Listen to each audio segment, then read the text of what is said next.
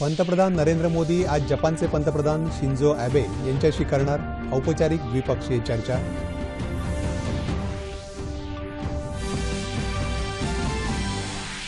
मन की बात कार्यक्रमाद्वारे पंतप्रधान नरेंद्र मोदी आज साधणार देशवासियांशी संवाद.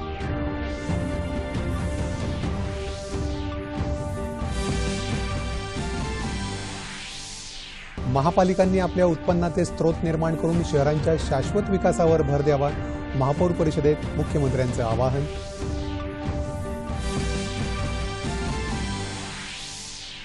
तिसऱ्या एकदिवसीय क्रिकेट सामन्यात वेस्ट इंडिजचा भारतावर त्रेचाळीस धावांनी विजय.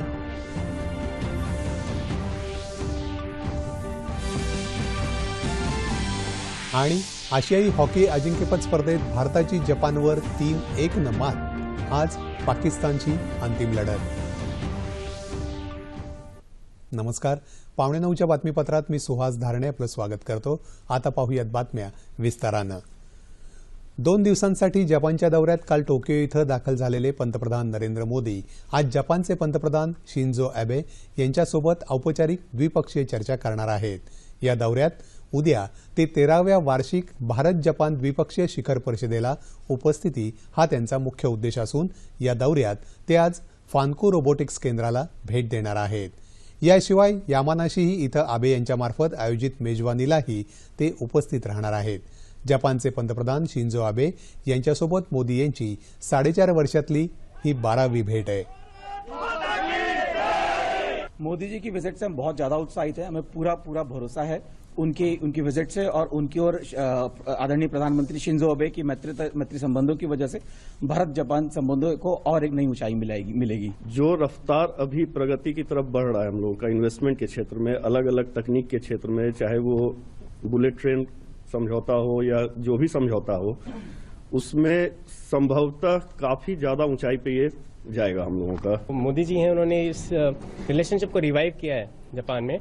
तो काफ़ी इंफ्रास्ट्रक्चर इन्वेस्टमेंट हो रहा है इंडिया में जापान की तरफ़ से और टेक्नोलॉजी का इन्वेस्टमेंट हो रहा है और आईटी के क्षेत्र में भी उनकी वजह से काफ़ी हेल्प मिल रही है। जापान और इंडिया का जो बढ़ता हुआ संबंध बढ़ते जा रहे हैं, कुछ ना कुछ इंडिया में कुछ पढ़ने के चांसेस इंडिया कुछ ग्रोथ करने के चांसेस चल रहे हैं तो उसलिए हमारा सहयोग है, हम जापान में पढ़ने आ गए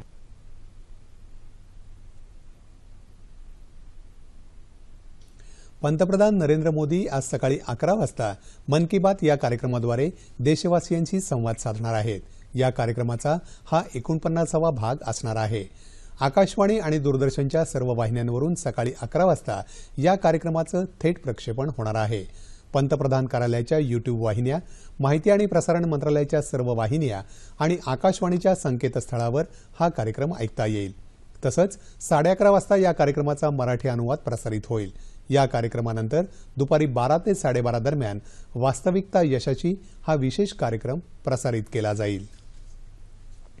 दहशतवादाविरोधातल्या लढ्यात सरकारला पाठिंबा देण्याचं आवाहन केंद्रीय वित्तमंत्री अरुण जेटली यांनी काश्मीरमधल्या जनतेला केलं आहे. ते काल नवी दिल्लीत आयोजित पहिल्या अटल बिहारी वाजपेयी स्मृती व्याख्यानमालेत बोलत होते. हा फुटीरवादी आणि दहशतवाद्यांविरोधातला लढा आहे. पाकिस्तानातून होणाऱ्या संकटांना भारत तोंड देत असताना काही स्थानिक गट त्यांच्यात सामील झाले आहेत आणि त्यात स्वतः काश्मीरींनाच सर्वात जास्त त्रास सहन करावा लागत आहे अशी खंत जेटली यांनी व्यक्त केली.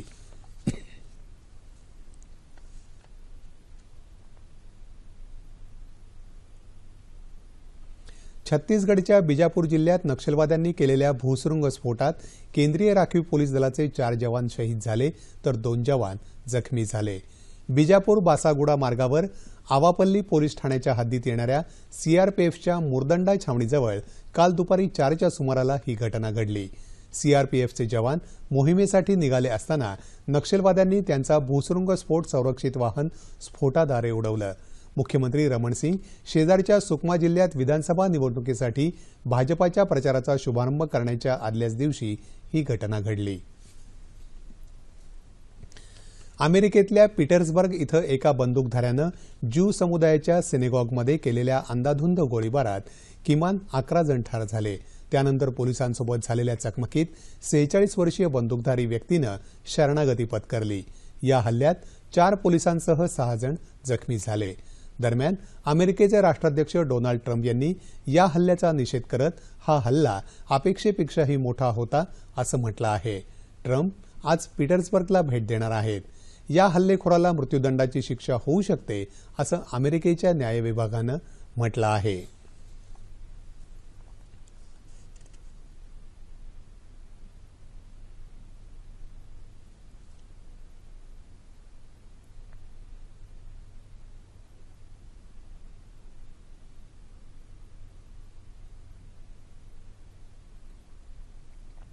श्रीलंकेत उद्भवलेल्या राजकीय संकटाच्या पार्श्वभूमीवर राष्ट्राध्यक्ष मैत्रीपाल सिरिसेना यांनी काल श्रीलंकन संसद सोळा नोव्हेंबरपर्यंत संस्थगित केली.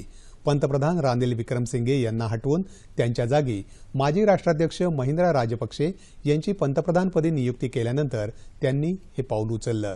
संसद ज्या दिवशी सुरू होईल त्या दिवशी बहुमत सिद्ध करण्यासाठी तयार आहोत असं राजपक्षे यांच्या नेतृत्वातल्या गटानं म्हटलं आहे. तर बहुमत असल्यामुळे आपणच अद्याप पंतप्रधान असल्याचा दावा विक्रमसिंघे यांनी केला आहे.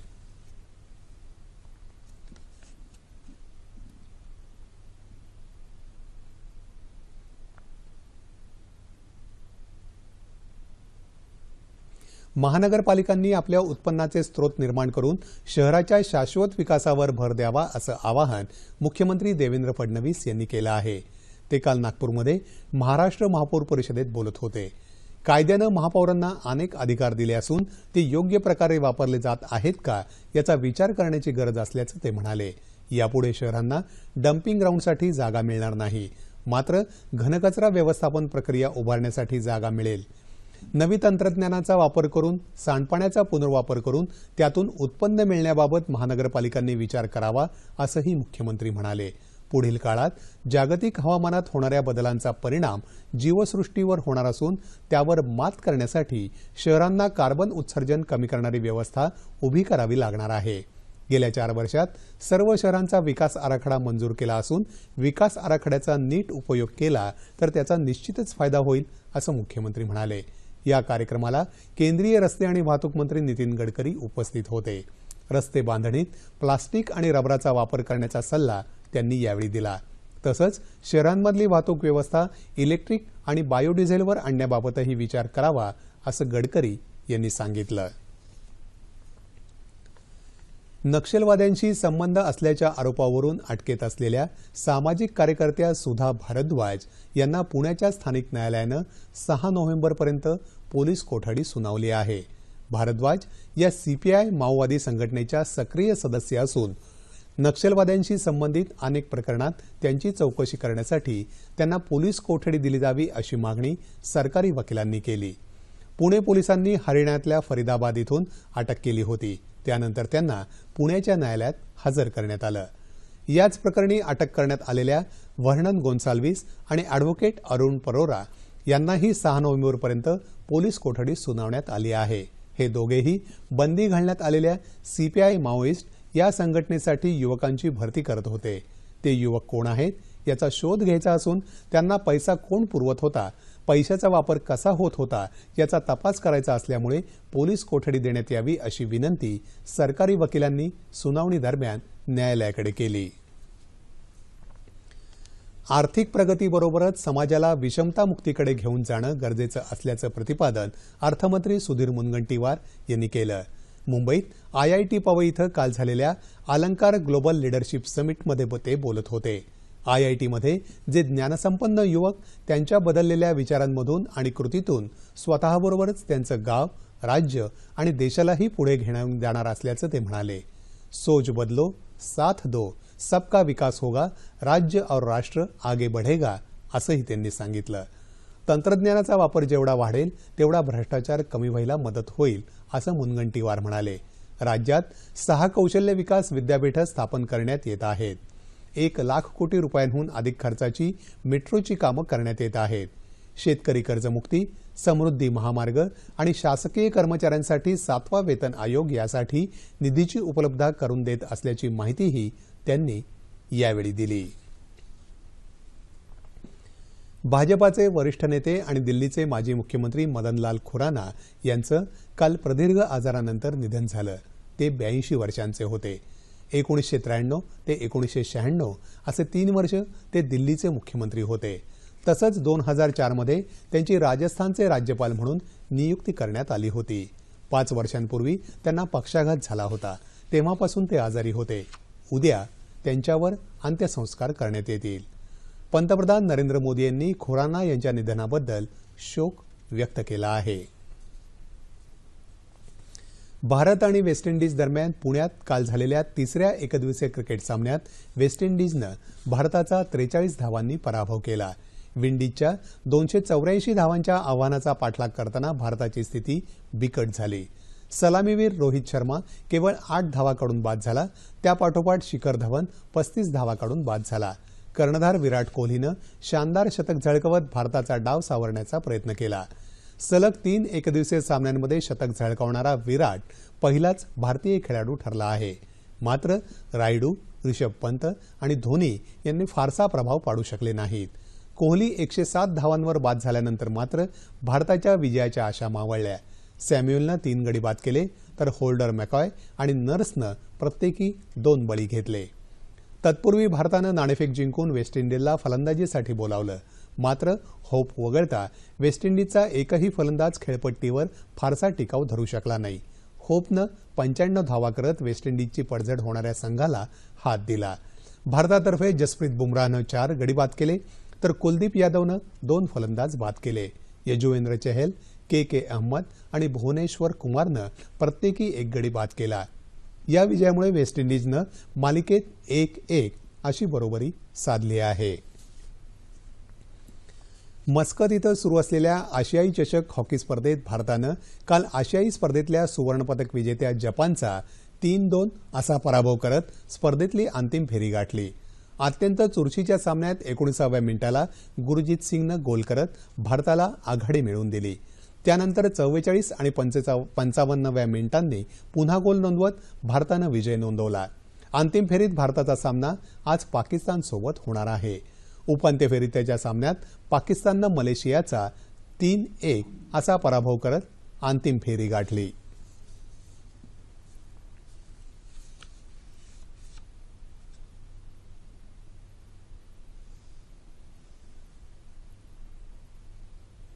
हवामान राज्यात कोकण विदर्भ आणि मराठवाड्याच्या काही भागात सरासरीच्या तुलनेत लक्षणीय वाढ झाली. येत्या चोवीस तासात संपूर्ण राज्यात हवामान कोरडं राहील असा अंदाज हवामान विभागानं वर्तवला आहे. ठळक बातम्या पुन्हा एकदा.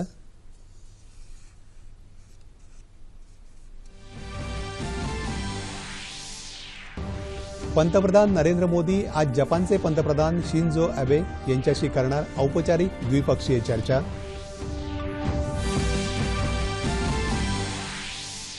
मन की बात कार्यक्रमाद्वारे पंतप्रधान नरेंद्र मोदी आज साधणार देशवासियांशी संवाद.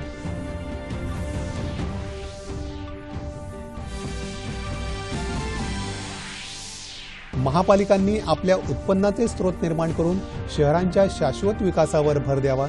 महापौर परिषदेत मुख्यमंत्र्यांचं आवाहन. तिसऱ्या एकदिवसीय क्रिकेट सामन्यात वेस्ट इंडिजचा भारतावर त्रेचाळीस धावांनी विजय.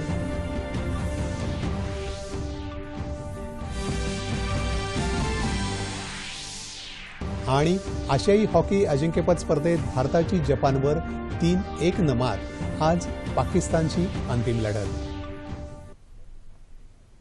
याबरोबरच हे बातमीपत्र संपलं. पुन्हा भेटूया अकरा वाजता आपल्या सह्याद्री वाहिनीवर. नमस्कार.